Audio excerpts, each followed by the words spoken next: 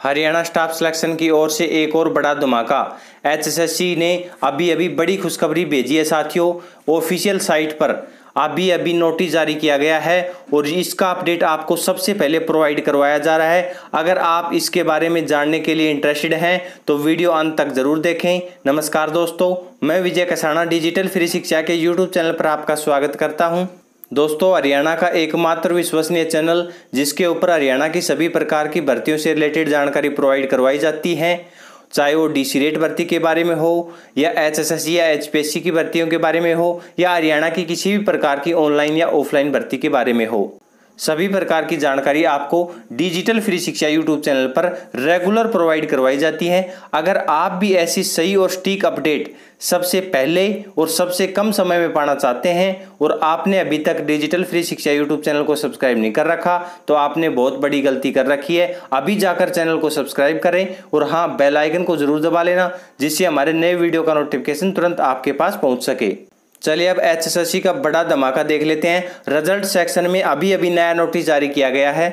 ये नोटिस जारी किया गया है आर्ट एंड क्राफ्ट टीचर भर्ती का, जिसमें एडवर्टाइजमेंट नंबर है छः स्लैश दो हज़ार छः कैटेगरी नंबर बाईस। इस भर्ती का रिज़ल्ट जारी किया गया है। डीवी के लिए इस भर्ती का पहले ही रिज़ल्ट जारी किया जा चुका है। इकतीस जनवरी को इसका एग्ज़ाम लिया गया था और अब जो रिज़ल्ट आया है, वो है इंटरव्यू के लिए। Notice to candidate for interview for the post of art and craft teacher. इसमें टोटल 816 पोस्टों पर ये भर्ती है। जनरल की तीन सौ सत्तासी पोस्टें हैं। जिनके लिए कट ऑफ़ की बात करें तो इनके लिए कट ऑफ़ 102 रही है। एससी की कट ऑफ़ रही है साथियों 90 और बीसीए की कट ऑफ़ की 131 पोस्टें बीसीए में, उसकी कट ऑफ़ रही है छियानवे। बीसीबी की 88 पोस्टों के लिए कट ऑफ़ रही है 100 और ईएसएम जर्नल की 29 पोस्टों के लिए कट ऑफ़ रही है चौरासी। एक्स सर्विसमैन जनरल कैटेगरी में जितने कैंडिडेट थे, सभी को इंटरव्यू के लिए बुलाया गया है।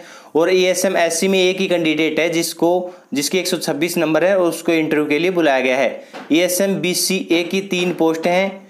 इसमें भी इंटरव्यू के लिए दो ही कैंडिडेट उपलब्ध हैं, बाकी कैंडिडेट उपलब्ध नहीं है। ये बची हुई कैटेगरी में भी कैंडिडेट उपलब्ध न होने के कारण नो एलिजिबल कैंडिडेट दिखाया गया है। इन सभी कैंडिडेटों का इंटरव्यू 14 मार्च से 18 मार्च तक लिया जाएगा। और इंटरव्यू के लिए जो एडमिट कार्ड आना है, वो 12 मार्च को ऑफिशियल साइट पर डाउनलोड कर सकते हैं आप। ऑफिशियल साइट पर अपलोड कर दिया जाएगा 12 मार्च को आपका एडमिट कार्ड।